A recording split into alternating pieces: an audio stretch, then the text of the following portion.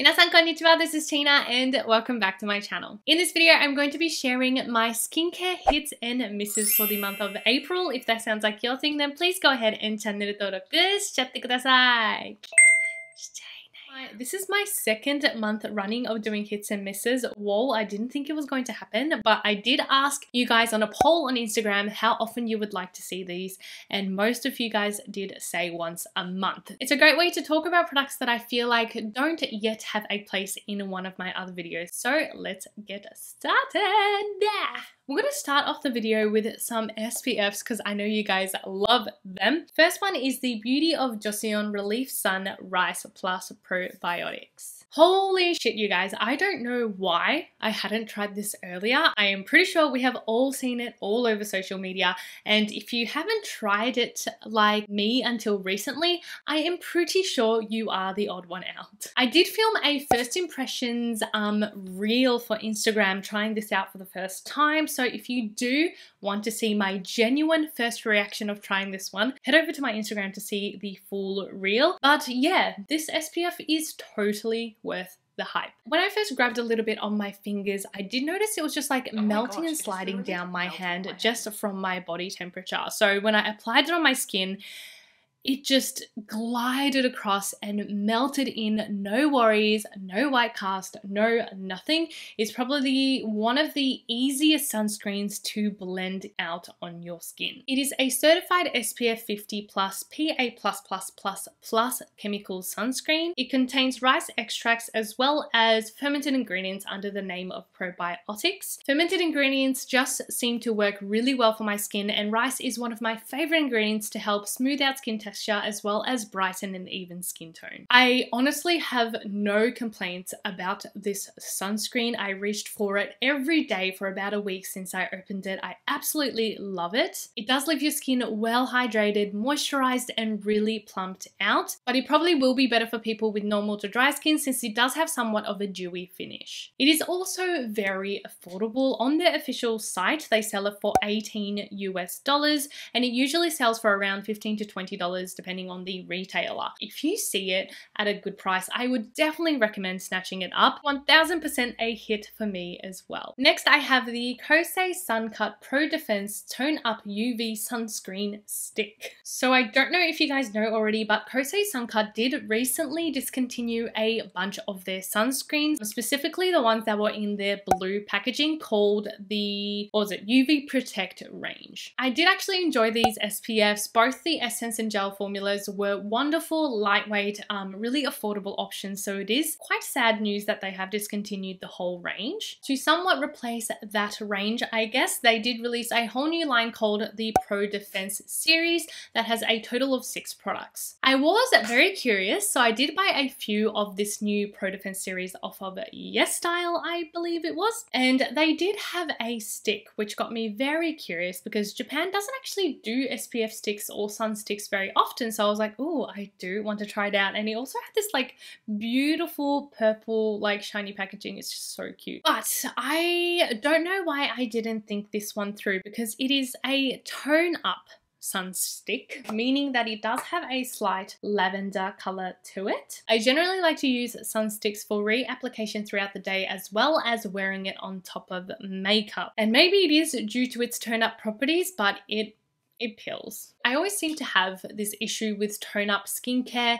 It always tends to pill on my skin. I don't know if everyone experiences it or not, but I assume that it's something in the color formulation that's quite hard to make it that perfect formula. I also definitely have to blend it in with my fingers. It's not like a transparent sun stick where I can whack it on and be done. I do have to blend it in with my fingers to make sure that it's like an even coloring all over or else it looks absolutely ridiculous. And I'll be honest, I haven't had it too many many opportunities to use this properly. As I said, I generally use it as reapplication. I don't like to use sunsticks as my morning all over full coverage um, SPF because it is quite hard to get a full coverage and you have to apply a decent amount, which doesn't always work underneath makeup. I did try it out on Logan, my partner, the other day just because I wanted to see it like not on my skin but on someone else. And the tone up evening out effect actually looks gorgeous. It really did kind of blur out and smooth out that skin texture and tone. It made it look like a porcelain doll, like very luminous and smooth. So the effect you get when you apply it properly is actually really nice. I will say I have to kind of experiment with it to see how to use it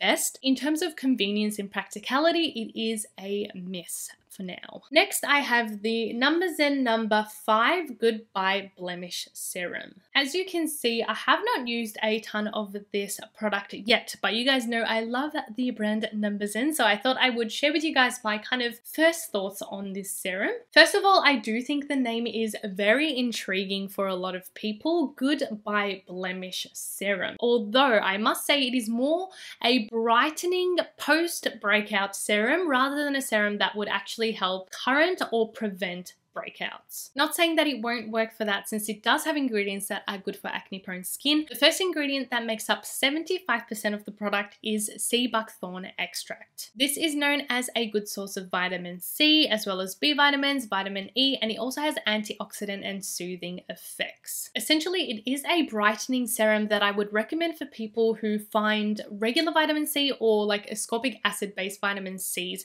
to be too harsh on the skin. This serum has no warming or no tingling feeling whatsoever. If anything, it's actually more of a cooling feeling because of its light but juicy gel texture. It spreads out very easily and sinks into the skin almost instantly without that feeling of tackiness, but is still very hydrating. So I would definitely recommend it for people who have acne prone or oily skin. It does have a fragrance to it, but oh my god, it is so good. It is this sweet citrus smell it smells like um what is it called? CC lemon. It's like a soda drink in Japan and it smells so good and it smells like pretty much exactly like that. The only thing I would be wary of is applying too much at once. They do say to apply two to three pumps all over the face. When I applied like three, I felt like the texture kind of like glugged up on my skin. It was just like too much for my skin to handle at once. So I would say one per cheek is plenty. So far, it is a hit in terms of user experience and texture and all of that, but I will have to test it a little longer for long-term effects. Next, I have the Soo Good Feel Soo Calm Toner Pad. Ooh, Sue, this is so good. Did that work?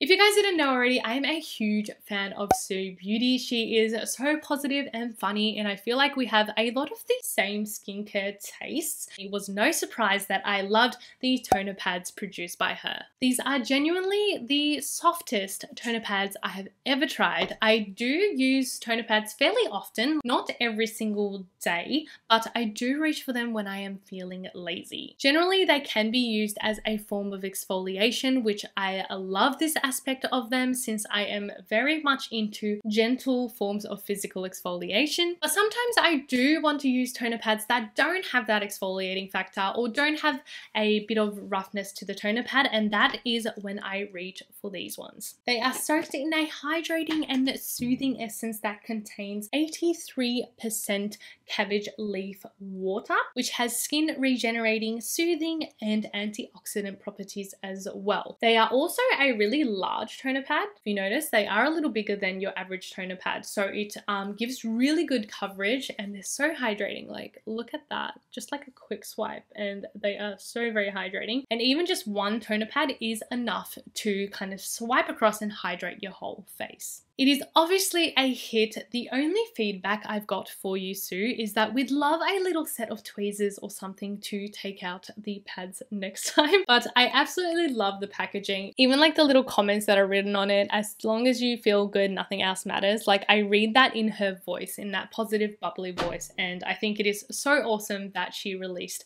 her own product. So proud of you, Sue.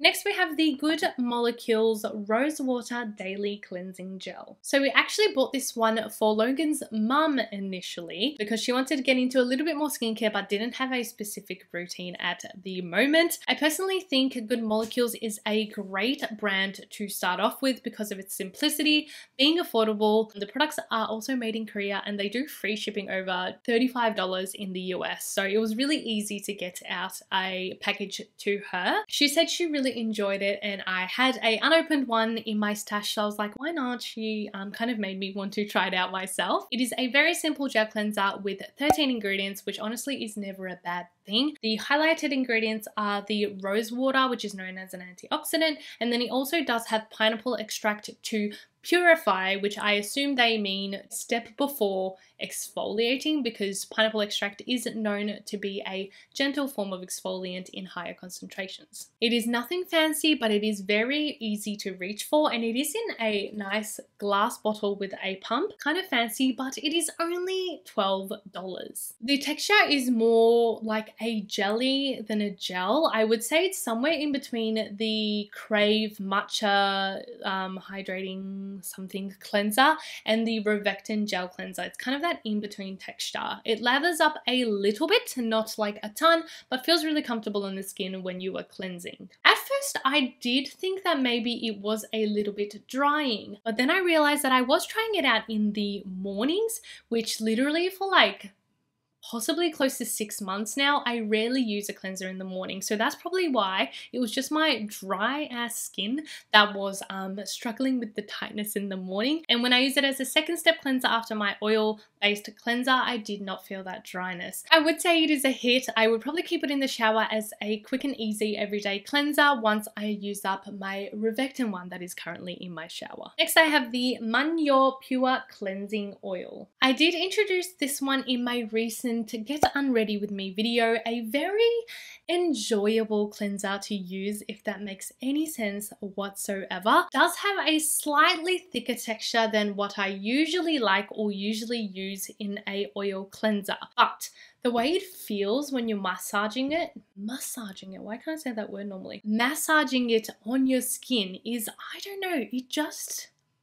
it just feels good. It is a made up of a blend of natural oils. I will leave all the oils um, ingredients up on the screen, but it does have quite a number of them and it has the most lovely spa-like fragrance to it as well. It emulsifies easily and it washes off easily too, cleanses without drying the skin out, and it does take off most makeup fine. I will say it didn't quite remove all of my waterproof mascara, but I feel like the mascaras I use are beyond waterproof. Yes, they are the Japanese ones. Japanese mascaras are literally the most waterproof, budge-proof thing you will ever use. And I don't expect most oil cleansers to remove that. So no, it didn't remove that, but other makeup it does seem to remove fine. It also doesn't sting when using it around my eyes, which is definitely another tick. I feel like it's one of those products that are like Korea's best kept secrets because I don't see that many people talking about it globally, but when I go on like Olive Young and other Korean retailers, it seems that it has been winning awards for years running now. Definitely a hit in my books. Last product I have today today is the Laneige Radian-C Cream. Okay guys, this is not anywhere near a first thoughts on this product because that is how much of the product I've used. I kept trying to change my mind about it because obviously I've used a decent amount without actually really talking about it on my um, social media platforms. And honestly, it hasn't impressed me that much. So many people seem to have loved this one and have been raving about it, so I was doubting um, my own thoughts. But once again, everyone's taste in skincare is different, and skincare does work differently for every single person, no matter if you have the same skin type or same skin journey. So I guess it just wasn't the right fit for me. When I first opened it, I was definitely surprised by the texture. When I saw videos and stuff online, it kind of looked like a more lightweight, like not lotiony, but in between a gel cream and a thick cream texture. But as you can see, like it is a pretty thick texture. Although once you do warm it up on your fingertips, it does turn into a beautiful buttery texture, which also seems great. But once I applied it, I don't know, I just feel like it just sat on my skin and didn't really absorb. And then once it dried down, it kind of had like a semi matte finish, but was still like a thick product. Yeah, the user experience, the texture was just not my thing and I felt like I had to use a decent amount on my whole face. This stuff is not cheap. It is only 30 mils, which is small for a moisturizer. Most of the time moisturizers are at least 50 mils and in Australia it costs $48 for 30 mils. So it is definitely on the pricey side. I do love that it is a moisturizer that contains vitamin C and brightening effects and maybe it has done something for my skin. It has been the main moisturizer that I've been using the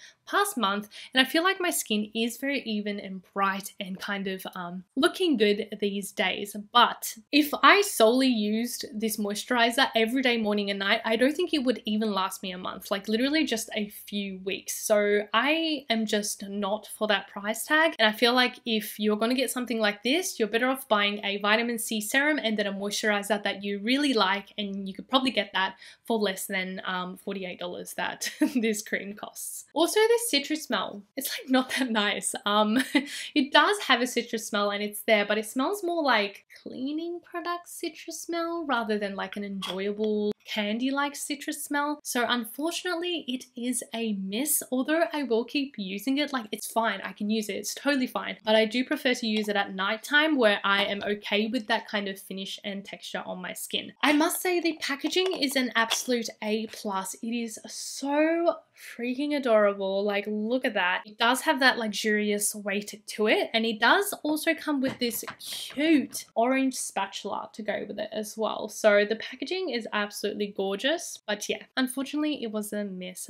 for me. All right, you guys, I hope you enjoyed my April hits and misses. Was there any products that you liked or didn't like? Or what was your favorite products that you opened up this month? Please let me know in a comment below. And if you do want to check out any of my other content, please click on one of these these are two videos that I have selected for you guys to watch and make sure you do subscribe if you haven't already and I'll see you guys in the next video. Bye!